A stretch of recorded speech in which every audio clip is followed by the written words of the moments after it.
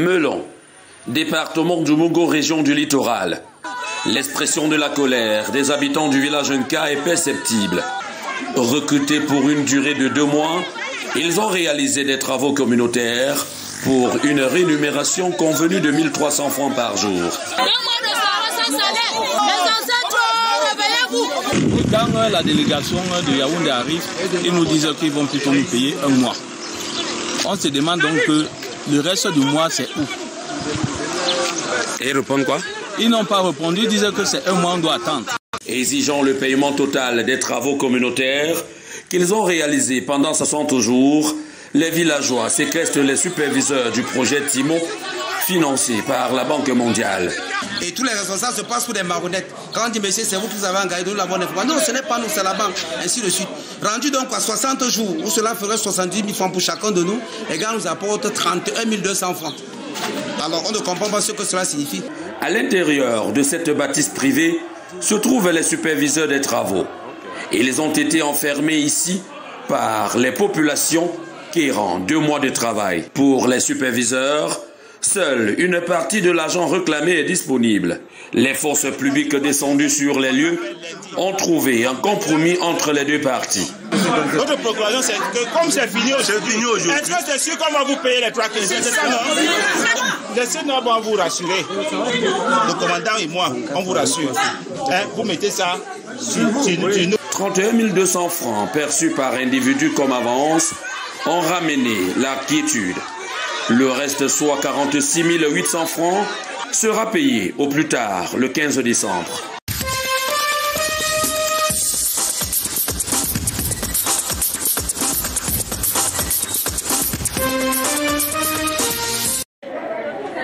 Bonjour Monique, folle journée ici au quartier tout dit à l'occasion du match Cameroun-Serbie. Beaucoup de palpitations, beaucoup d'émotions au finish. Les Lions indomptables n'ont pas gagné, mais ils n'ont également pas perdu. 3-3, c'est le score qui a sanctionné dans cette rencontre. Je suis avec quelques supporters. Bonjour. Non, nous sommes fiers de nos Lions. Ils ont représenté le vert ou jaune. Et nous sommes contents, les gars. C'est tout ce qu'on demandait, le fighting spirit, par expliqué par le sélectionneur. Est-ce que vous êtes confiant pour la suite? De la compétition Nous sommes confiants. Nous sommes confiants. Avec beaucoup de travail, et le coach a compris la vision. Il a compris, il a aligné les gars qu'il faut, où il faut, et puis nous sommes confiants pour la Merci. Quand tu sais que tu es en danger, c'est là où tu es en danger. Quand tu ne sais pas que tu es en danger, c'est là que tu es en danger. C'est de ça qu'il s'agit. Le, le, pronostic contre le Brésil Non, le pronostic contre le Brésil, c'est 3-1. Alors, votre pronostic contre le Brésil? Euh, Contre le Brésil, 3-0 c'est petit, 10-0. On arrive là-bas, on a perdu la finale. Alors, Monique, les Lions indomptables n'ont pas gagné, ils n'ont pas perdu. Et comme vous pouvez le voir, l'émulation des fans ici au quartier tout dit, prochain match du Cameroun, c'est lundi prochain, vendredi prochain contre le Brésil à 20h. Yes. Oui.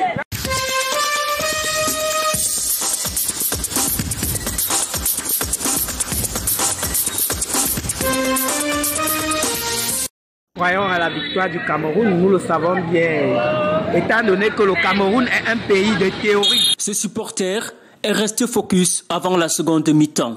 Je vous ai dit plus haut tout à l'heure que le Cameroun c'est un pays de théorie. On aime être dans la difficulté pour montrer que nous sommes forts. Ce matin, Berthois s'est même vidé de ses élèves dans les établissements. Puis l'école pour venir regarder le match. Vous vous attendez quand même à ce que le Cameroun gagne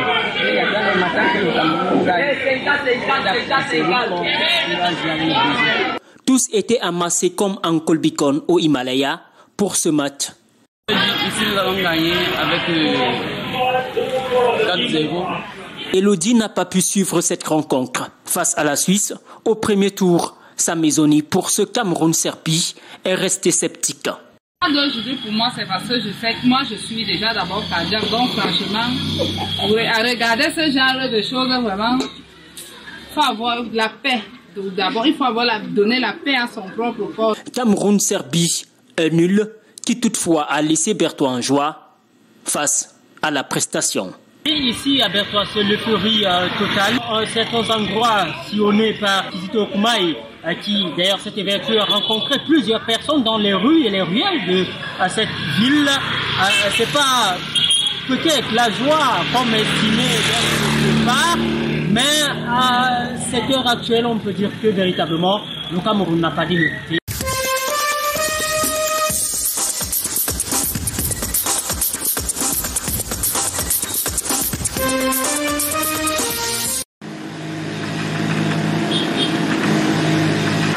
En attendant les listes définitives qui seront rendues publiques par le directeur général des élections en décembre, le Sud présente un effectif de 288 256 inscrits, chiffre au 20 octobre 2022. L'état des lieux est tellement bon que s'il y avait une élection à organiser maintenant, on pourrait la tenir. C'est pour ça qu'on euh, galvanise le peuple pour qu'ils n'attendent pas qu'il y ait élection avant de se faire inscrire. Dans les 29 antennes communales, supervisées par Cécile Bomban-Colo et Clémence Fleur-Epo, membres du conseil électoral, on poursuit la mise à jour du fichier des électeurs sénatoriaux.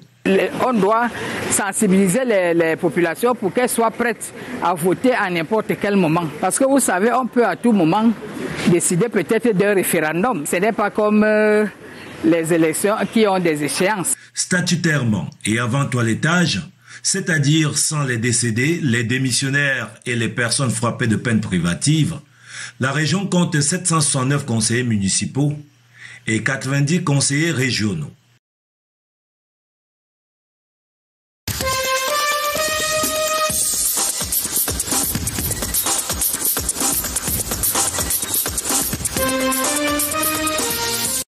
C'est un rappel à l'ordre qui est adressé à tous ses membres par l'Ordre national des avocats du Cameroun à l'occasion de la semaine de l'éthique et de la déontologie organisée en Gaoundéré depuis le 23 novembre au vu des dérives observées avec notamment l'avènement des réseaux sociaux. Il est interdit à l'avocat de faire une publicité personnelle sur les réseaux sociaux, de faire ses propres éloges, de se comparer à des confrères.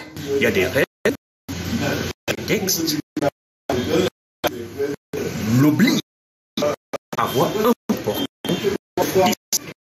comportement qui soit fidèle au serment. Obligation vis-à-vis de l'ordre, de leur serment, ainsi que les rapports avec tout l'écosystème qui gravite autour de la profession.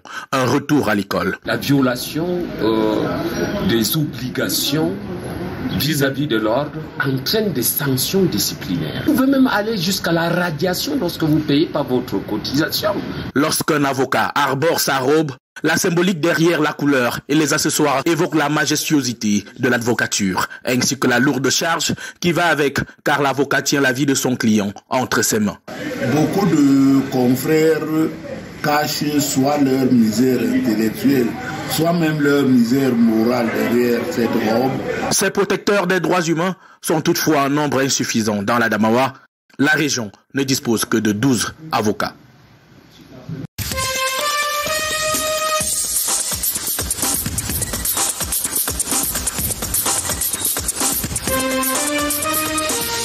La région de l'extrême nord Cameroun est confrontée à une hausse continue des produits de grande consommation. Les ménages ont du mal à digérer cette montée des prix sur le marché. Le marché, ça digionne. Comme maintenant, là, le sac, tu as 10 000, tu ne vois pas ce que tu as tout est, tout est cher. Tout, le riz, l'huile, le savon, tout a augmenté. On fait seulement le maintien pour vivre. Lui, n'a pas changé de prix, le prix reste le même. Par contre, le charbon a connu une inflation. Le pétrole, oui, a connu une inflation. Même le bois. Les commerçants s'interrogent sur les raisons de cette augmentation. Ces derniers temps, depuis le début de l'année, on remarque une flambée des prix. Surtout les produits, produits de première nécessité, que ce soit l'huile, le riz, euh, le sucre, les pâtes alimentaires. Qu'est-ce qui ne va pas, où il n'y a pas eu la production, où il n'y a pas quoi, ça dit que tout dans l'agroalimentaire est cher. Donc, des fois, c'est des choses importées et des fois, c'est des choses qui sont chez mais tout cher. Malgré la volonté de la délégation régionale de veiller à l'homologation des prix, la hausse des produits de grande consommation reste visible dans les marchés.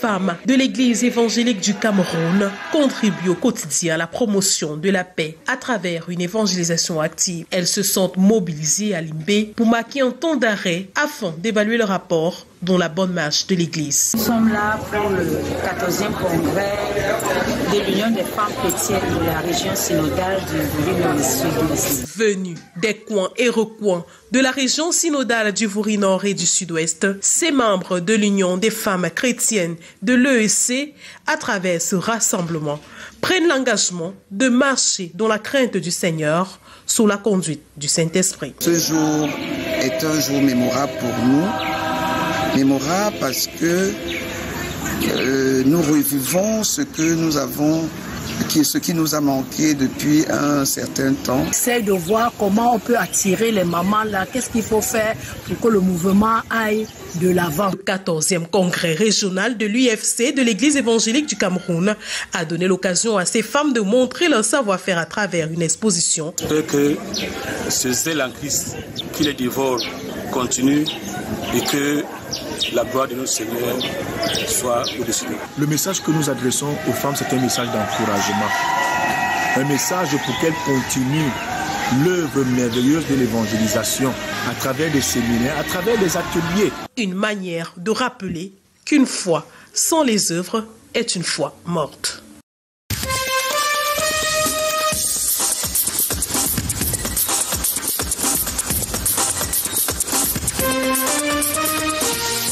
Ces engins à deux roues, en provenance de Kribi, dans le sud Cameroun, ont été volés et acheminés jusqu'à Massagam, dans le Noun.